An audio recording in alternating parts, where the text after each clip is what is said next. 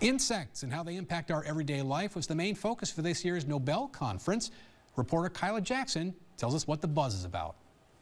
I am here at Gustavus Adolphus College where the student body and faculty are celebrating their 59th annual Nobel Conference. This year's theme is insects, little body, big impact.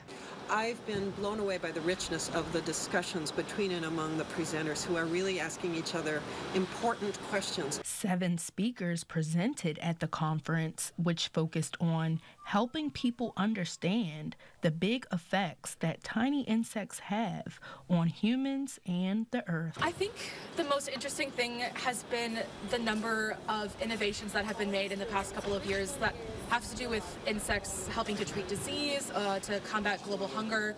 Uh, some really big problems are being solved using knowledge that comes from insects. Conference topics covered insects and how they impact disease, food and agriculture, the model organism, how insects experience the world, humans experiencing insects, and Insects 101.